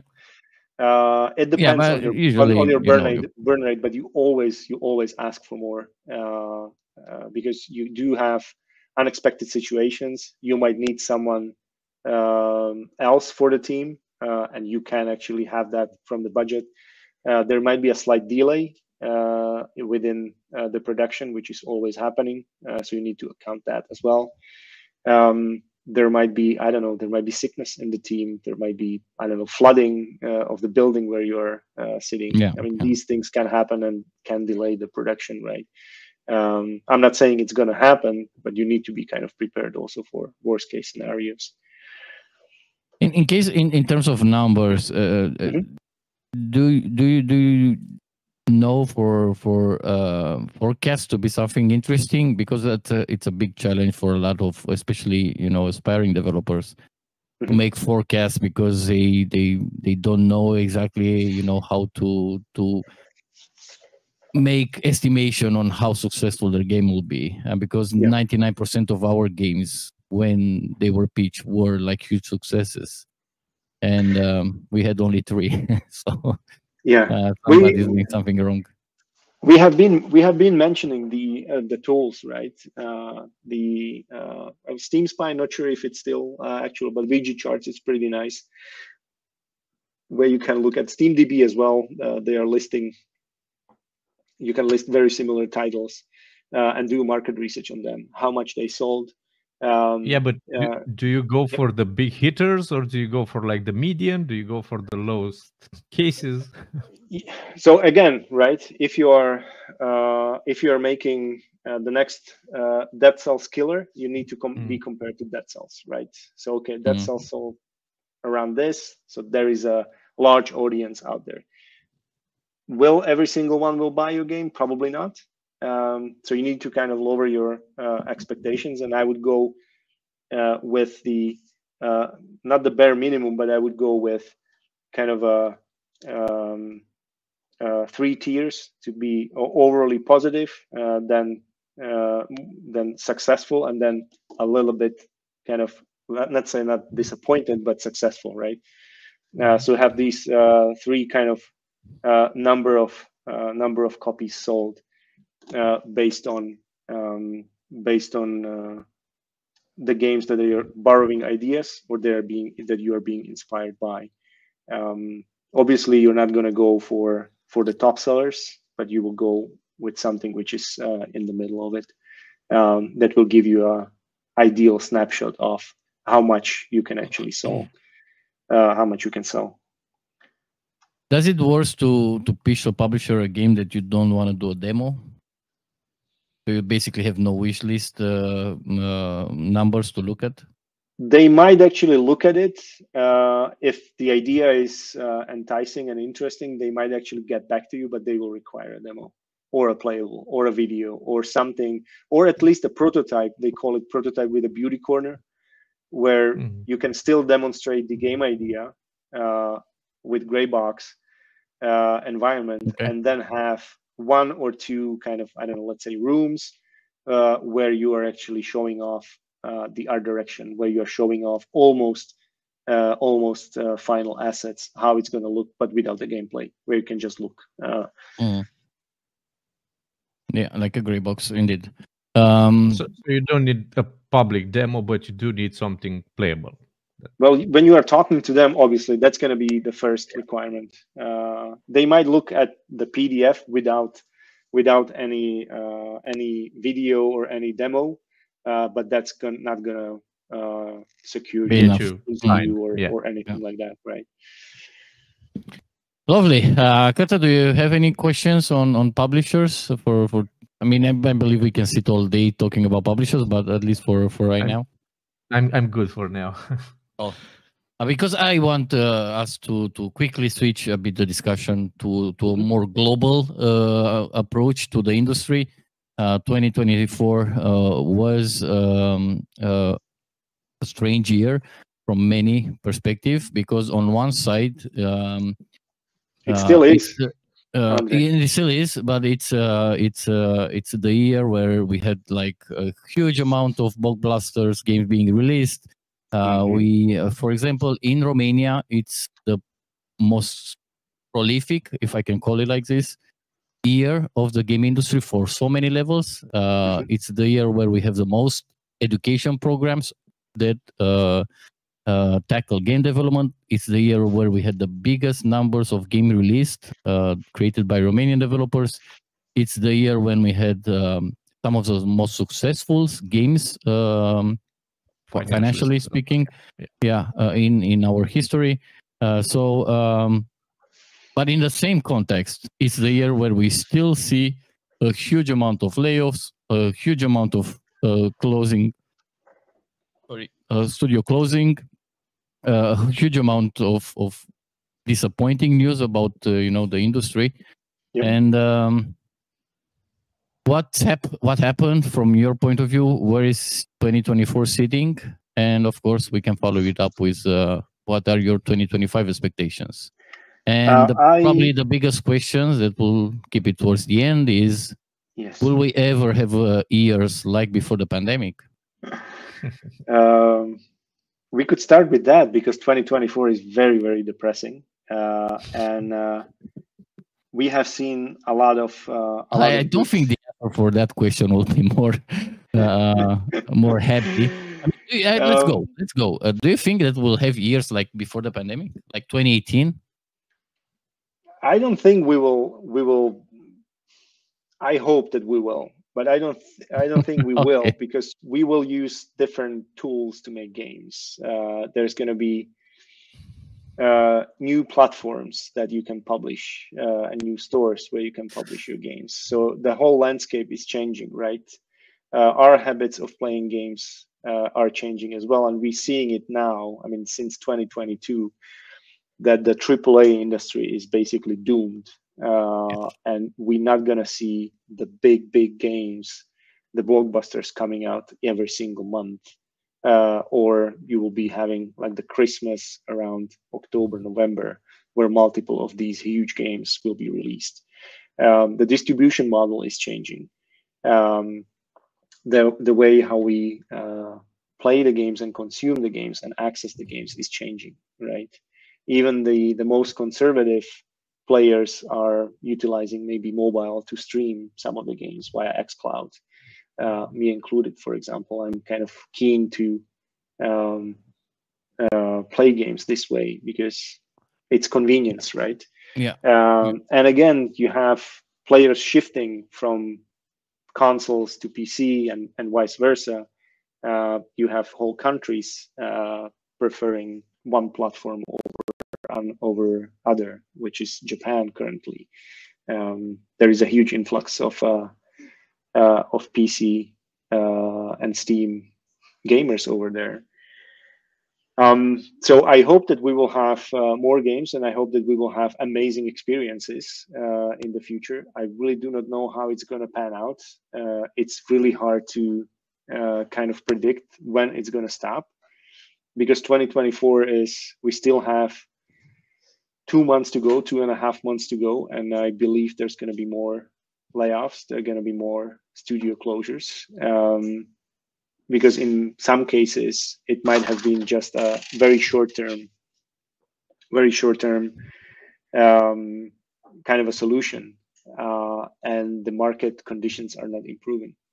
You yeah. still see kind of good things happening as well, uh, which are kind of lost in the noise you see new games being announced from newly formed teams, and they are actually very interesting ideas. You do see uh, new studios being opened uh, with a significant financial backing, even though the rest of the industry is struggling. So there is kind of everyone is struggling currently, right? It's not just indies because they're fighting the influx of content out there. It is not just uh, smaller companies, uh, it is across the board, uh, publishers, well established brands. Um, there is a lot of, uh, it almost sounds like a purge that uh, a lot of the bad practices are being called out. A lot of the bad kind of management is being punished by uh, layoffs, unfortunately, and with closures. Um, and it is not a good place to be right now, even though it is one of the best industries out there that has the most uh, engaged and the most lovely people mm. out there it is very tough. It is very rough, and there has been a lot of a lot of these kind of predictions like, "Oh, you need to power through and survive till 2025." But if you do, what then? Right? Uh, it's not going to magically the, change. the yeah, there is the, expectation that 2025 is going to be amazing. The, the problem with yes. with with what's happening and the, the expectation for 2025, the way I see it is that um, gaming right now is become not actually not gaming but game development has become more accessible than ever uh, with everything that uh, you have at your disposal to create games and especially you know with the added uh, um, emergence of the ai uh, in, in mm-hmm. recent years so uh, when you go look forward basically you will actually see even more games but yep. you still have the same user base. You know, we are still seven billion people on, on the yes. planet. Um, and uh, since the pandemic, and, you know, the consuming is is decreased because people people are out of the houses. And moreover, yes. Right now, making video games is probably the most expensive as it has ever been. Uh, so you have the cost of making games is higher than ever. The yes. amount of video games are uh, it's higher than ever and the amount of people who are paying is not the highest ever. Uh, yeah. So uh, you have uh, this situation that don't make 2025 look uh, any better.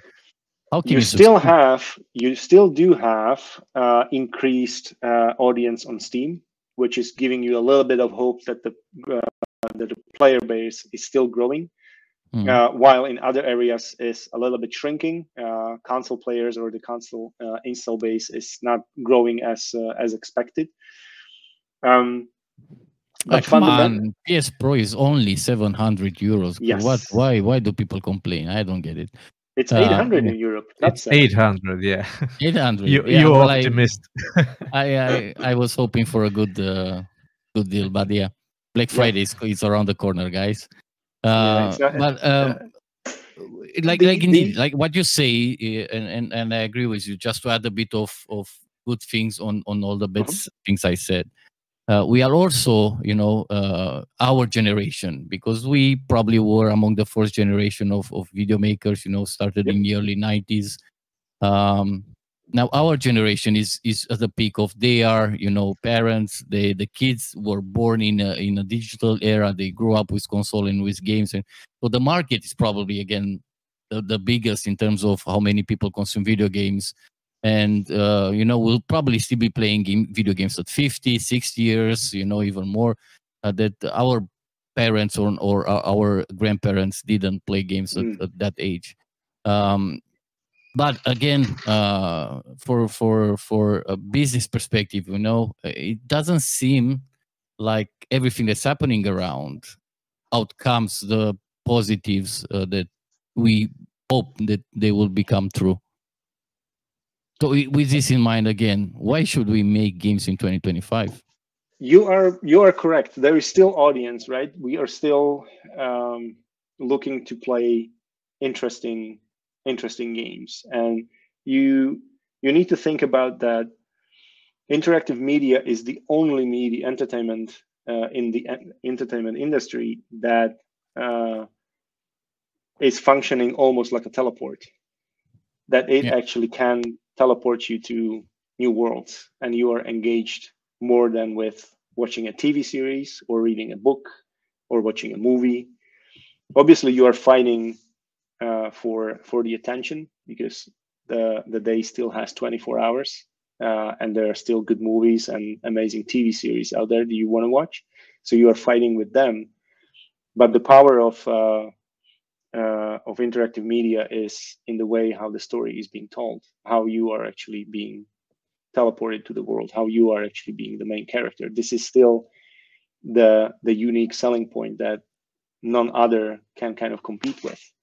Um, plus, we actually grew up with uh, with playing uh, with playing games, and we want to still uh, have new experiences, right? Uh, that mm. maybe feel a little bit nostalgic, but uh, you still wanna you still wanna explore new genres. You still wanna play the next big thing. Um, so I think that's the um, that's something that we are forgetting uh, about um, the the power of uh, of the interactive uh, interactivity in uh, in games. Yeah, that's that's a uh, beautiful answer. But at, at the end, of, so I, I'd like to say this first. From my point of view, doing games as a business currently hmm. is somewhat I'll just use a bad word, is somewhat dumb if you want to do business and you think yeah. oh, i'm going to do business because i'm going to make a lot of money that's kind of dumb either you have a lot of background and you know how to make this as a successful business it probably it's not going to be you selling games it's going to be you making games for other hmm. people right? That's definitely more money making in that. So I love your answer because at the end of the day, I think we should make games because we are creators because we want to tell stories because we want to make experience we want to uh, make people feel stuff but not necessarily as a business how do you do you answer to that? As a business strictly is it a good time from your point of view? Is it still a good time to be making games? It is. You have access to tools which are available for free. Uh, when you start earning revenue until certain threshold you can actually, and you will be, I think, not forced, but you are uh, required to actually pay a licensing fee um, to Unreal, for example, right? Uh, The tools are available for free. Um, you have immense uh, resource uh, where you can learn, where you can uh, ask questions. Uh, before that, we didn't have we didn't have these um, these these kind of tools Hmm. Um, and my dog come. Somebody's missing you. Hello. Yeah. Yeah. So you do have you do have immense opportunities compared to where we started right? There was not a lot of yeah. there was not a lot of books there were not a lot of resources there were not a lot of courses there were not a, lot of even the conferences or uh, uh, or events where you can uh, could get educated. Plus we were not connected right? In many countries even before uh, I mean, even after the uh, the uh, uh, uh internet, the communities were still uh, separated. They didn't even know that in the next apartment building there are developers, right? That happened yeah. here in Croatia, for example. Um, so we are more connected. We have more access to knowledge. We have more access to talent. We have more access to to tools. So it is easier or it should be easier to make games. On the other side, from the business perspective, everyone can make games, right? So you are actually have immense competition.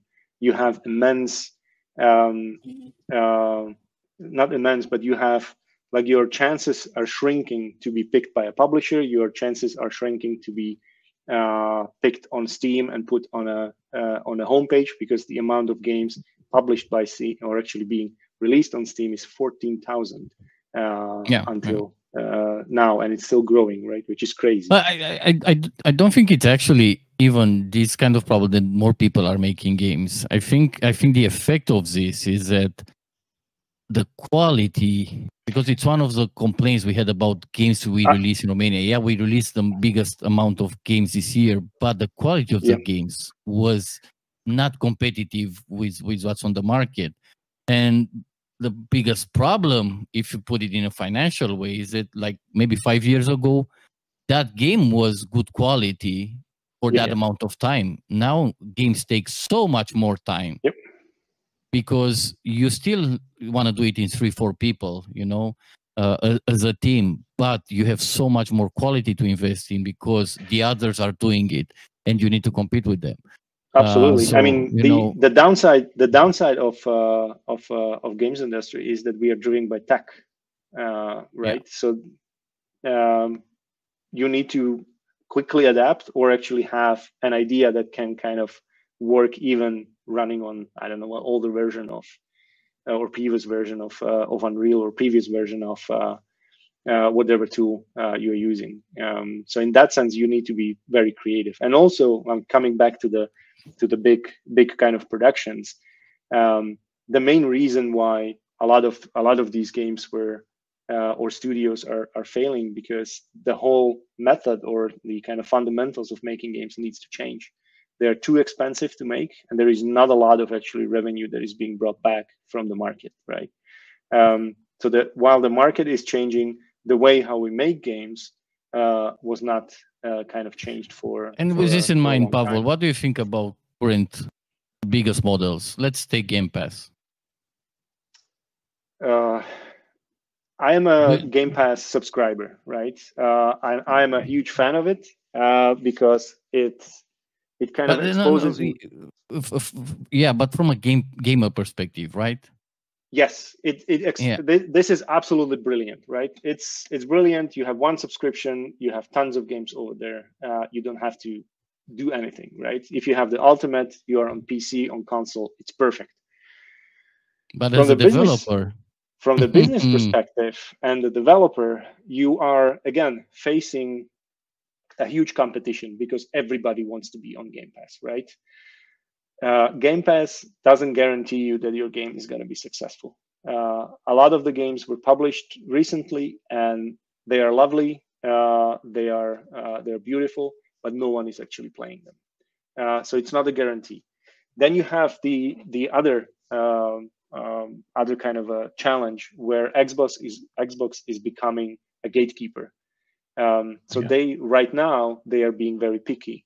Uh, they are actually They're signing what 10, 20 games a month. That's ridiculously uh, low compared to how many games are yes. made. Yes, because they grew the audience, and right now they are dictating, um, and they have terms. They have different terms. Uh, developers are getting uh, less incentives uh, for signing up for for Game Pass. Uh, so obviously that uh, actually created um, kind of a gatekeeping mechanism where they are basically uh, acting as an Apple. It's very similar. Exactly. Yeah.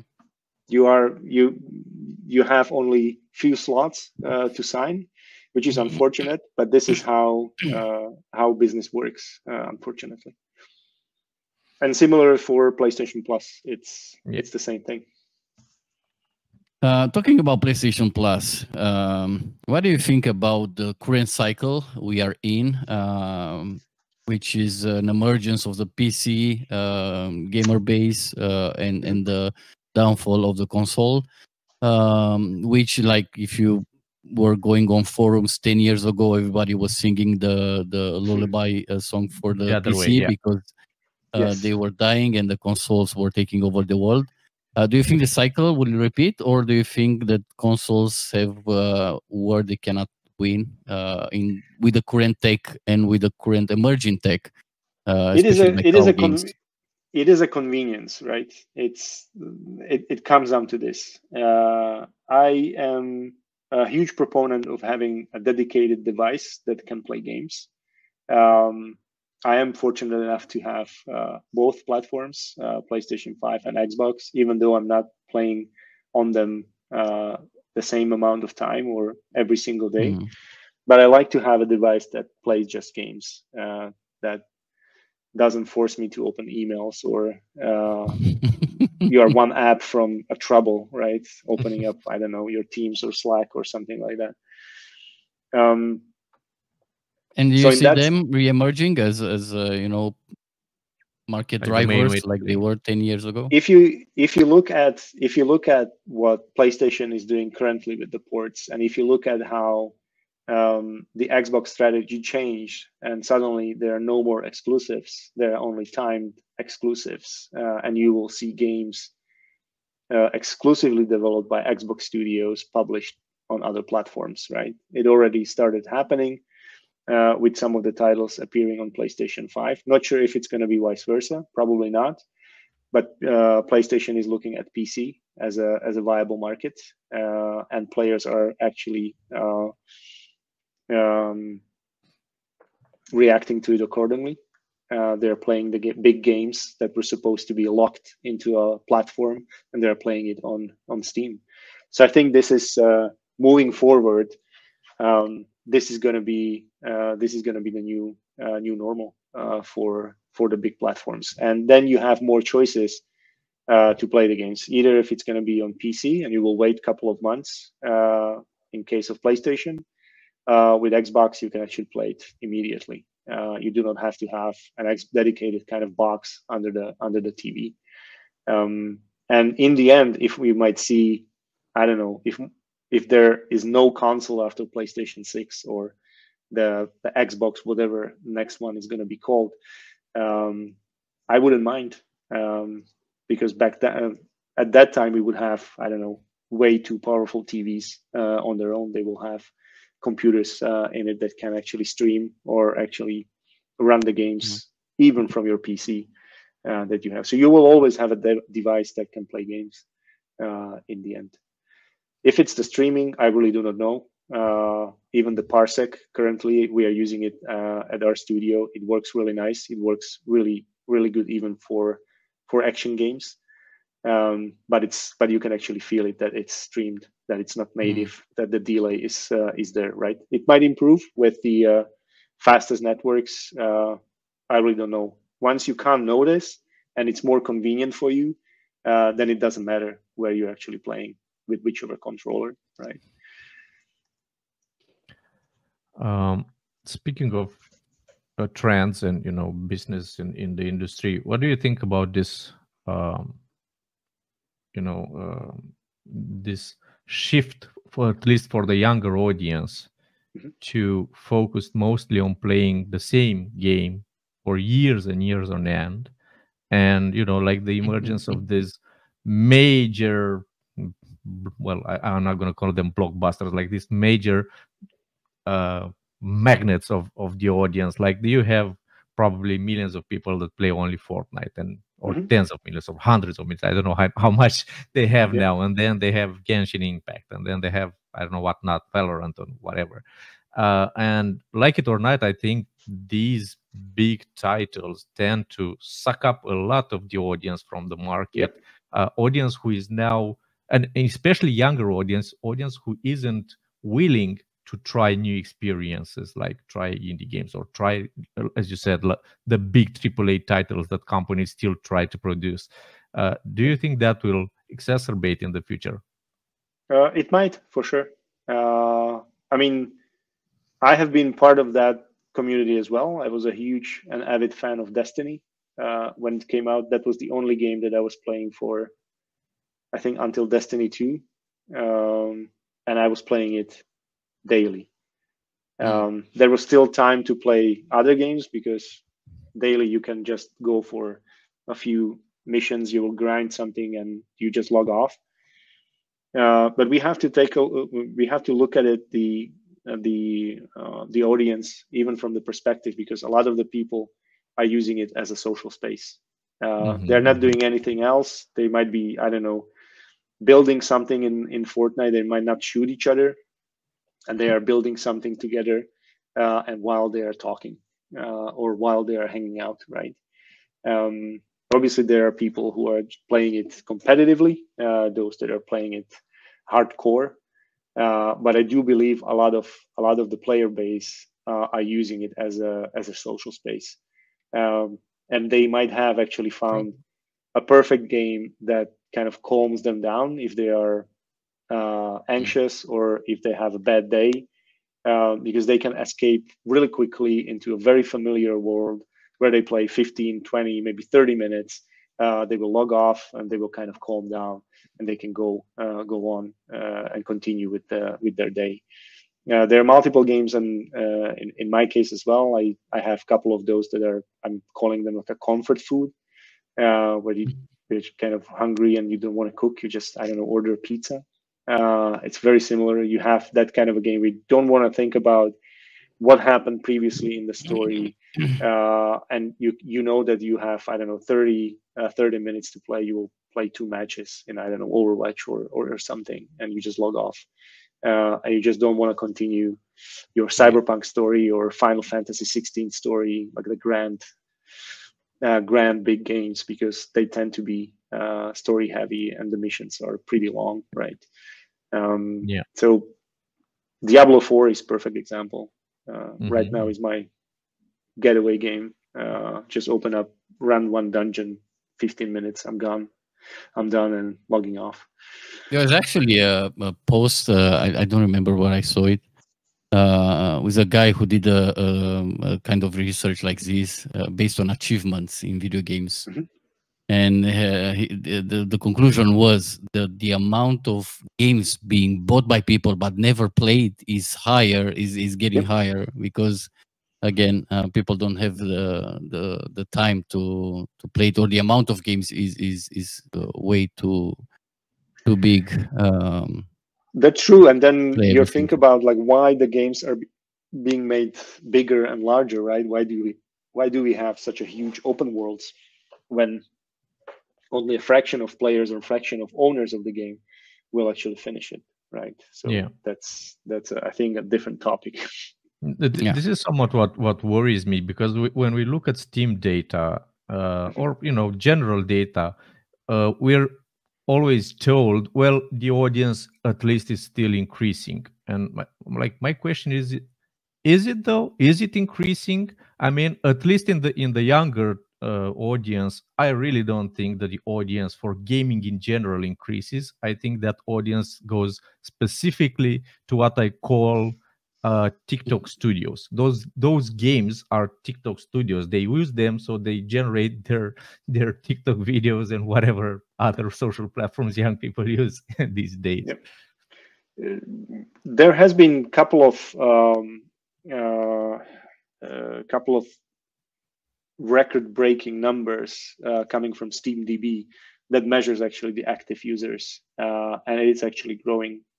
Um, so these it's not just creating accounts but actually being active and playing something mm. uh, which is which is still being increased and the old records are being broken so i think we are seeing uh, the shift towards pc um, and, and and actually spending more time playing games on pc right um, it doesn't provide you any data what kind of games are being played i mean mm-hmm. you can still list of them uh, you, you can actually look at how many players are being uh, uh, how many players are playing the the top games. Uh, uh, but we we do not have similar data to to mobiles, right? We do not know how much time is being spent on the top games, and obviously how much time people are spending in uh, in games in VRChat, for example, which is a which is a mm-hmm. new thing, and I think will it will come down here very quickly as well. Um, in TikTok fashion way, where you have bite-sized uh, bite-sized games that are immediate, no loading, nothing like that, uh, minute or two uh, while you're waiting for a bus or waiting for a recess, and uh, just uh, changing it very quickly in uh, in reels. Maybe that's fi- a fire and forget direction we can follow. you know? There is al- there is already there is already a platform that is actually doing yeah. that. Yeah. So five second gains. Uh, where, where do you see uh, because we talked so much about console and PC? Where do you see the the mobile games um, going in 2025? That is a very tough question that I can't answer. I I'm not well versed with the with the mobile industry. I know that they are facing very difficult times currently with the user acquisition and how expensive it is to actually yeah. get people play their games or play the games that they are advertising. Uh, the business model is staying the same. It is free to play. Uh, so not a lot of premium games, uh, not a lot of uh, games that you can uh, pay or actually play with one-time purchase. Uh, Apple Arcade is still there, but it's very hard to get in, and Apple is not investing heavily in it. Um, so it's really hard to tell. It's still growing because every single kid has a mobile phone now. Uh, so of course, it's uh, the audience is going to play games on it. Uh, I don't believe that uh, they're going to be averse to uh, video games, and they're not going to be wanting to play whatever their schoolmates are playing, uh, especially when you can actually play together. Um, so it's gonna grow, but the monetization model, I'm not a huge fan of it. It is pretty predatory. Uh, it is exploitative, uh, and uh, uh it's not good. Sometimes the games are not even entertainment. Mm. They are distilled, distilled kind of psychology into uh, how how to withdraw all the money from your wallet or from the pocket of of parents in case of smaller children. So uh, I really don't know, but it's growing. Um, and, and uh, last at least for from me, uh, how do you see the the emergence of new stores? Uh, you know, um, Microsoft, uh, PlayStation announced it. Um, yep. Do you think this will help the industry or or divide it even more? If they give the platform or the new stores to new companies and new stores so the new games can kind of shine uh, then yes there is a hope. If they're going to bring all the candy crush saga and all the clash of clans or clash of whatever then there is no alternative right? It's going to be the same audience. They might actually flock to uh, to a new store but there is a hope that they with the new stores uh, they might actually create alternative and hopefully uh, new games and new developers will will benefit from it. Uh, lovely. Good. Uh, are there any questions? Uh, yeah, just, I mean, just, we still just... have time. We, we just started. just a couple, but you know, feel free to answer them as shortly as you want. I know it's late. So one of the the big trends lately was this you know shift to online uh, work remote work uh, mm-hmm. but then at least the way i see it lately there's been the the reverse of that with more and more companies going to hybrid or even full on site uh, yep. do you think that's true do you think that online work will slowly dial down until you know it's, it's not as prevalent as today it is. Uh, it depends on the company. It depends how the management, uh, how aggressive the management is. I guess uh, our studio, for example, was founded in October 2020. Uh, we do have offices. We are not forcing anyone to go into the office, even though if they have the desk over there and they have computers where they can actually work on. Um, we are 100 plus uh, studio uh, we are actually fully remote. We are giving our employees an option. If you want to go, uh, you have a place to actually sit. Um, we are we are actually utilizing the hot desk uh, uh method in in our studio. Um, so it depends on the companies. It depends on how the studio is structured. Uh, since we are working with multiple teams. We are not working just as a single team. It's quite easier uh, and it's uh, even, I think, more comfortable to work from home rather than from a studio. Uh, what I have seen, and I'm coming from um, uh, from kind of an older school where I like to be surrounded with people, uh, that I would prefer to have at least two days uh, in the office. I miss my coworkers, I miss my teammates um, and the way, uh, and not the way, but uh, since we were commuting, you are actually kind of exposed to different external stimuli, uh, different sounds, different uh, people. So your brain works a little bit different when you're just waking up and going from your bedroom to uh, to your uh, workstation, and you just work, and then go to a kitchen, have a meal, and then just go back to work, and then maybe in the evening you just watch a TV. Um, so this is just me uh, how I see it. I don't think it will gonna gonna go away. I don't think uh, the uh, um, the studios uh, will be again like fully uh, on site. Um, we have seen that it works. We have seen and we have proven um, that the games can be delivered completely remote. Of course, it, it, needs to change a little bit the production. It needs to change a little bit uh, in, in the processes, but it is doable uh, and I don't think it's going to go back. There might be still companies who will adopt re- hybrid mode, or they will mm-hmm. uh, be forcing people to uh, to have everybody on site, but they are risking that the people will just say goodbye and they will find a new job. Mm-hmm. Uh, and lastly, uh, in the past, there were kind of resets. So when Nintendo Switch was launched, it was kind of a reset, at least as a as a business, you know, as a game development business, because it was a new platform. If you got there fast enough, you had tons of opportunities. Same was mm-hmm. for PS4. Same was for mm-hmm. Xbox One. Uh, well, maybe not for Xbox One, but lately everything is backwards compatible. Everything that launches new already has thousands or tens of thousands of games in there. we, do you think we will ever have a chance for a like a, at least a little reset anymore. So you know, like a little opportunity where you can yeah plug ourselves in and get give ourselves a chance a chance to to fight. I know what you mean. Uh, I think a lot of uh, a lot of us are looking at uh, the Switch 2 or whatever is going to be the uh, successor, the Switch successor name. Even though it is claimed that it's going to be backwards compatible, and same what uh, with Xbox Series, it is backwards compatible even to the first generation of Xbox. Yeah. I mean, not not all of the games you can play, um, but the new systems will have new features uh, that only the new games will kind of utilize. Um, so in that sense, you want to have the best and the uh, and the uh, and the cutting edge uh, when you are first adopter. So you will go actually for the versions that are supporting the new hardware. Same goes for the next PlayStation uh, or or the next Xbox. I think they might be obviously they will be prettier. The games will be prettier.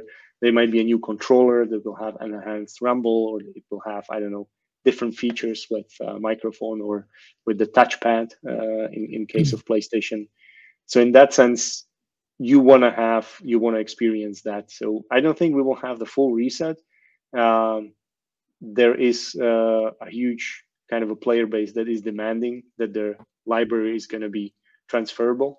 Um, I have a lot of games that were bought digitally, but nowadays I'm switching to kind of have a disc version. Um, but uh, I would I would actually uh, love to play my old games as well on the on the new platform. I'll just change the change the box, uh, have a more powerful console that can uh, handle the new games, while I can still return back to um, to those that I played played before. So basically, we're doomed. yeah. but, but the problem with it's that you know you still have the same distribution channels you have the same yes. same big players who are you know yeah. featured it's it's basically in terms of development there is nothing changing from you you still have to deal to the same uh, yep. the same business while a completely new device hopefully um, it will happen. Uh, maybe we'll have a fourth player coming on the market. Maybe you know something that happens with with AR, uh, VR um, uh, will, will lead to emergent uh, new devices that will, like you said, we are uh, uh, an industry reliant of technology. So yep.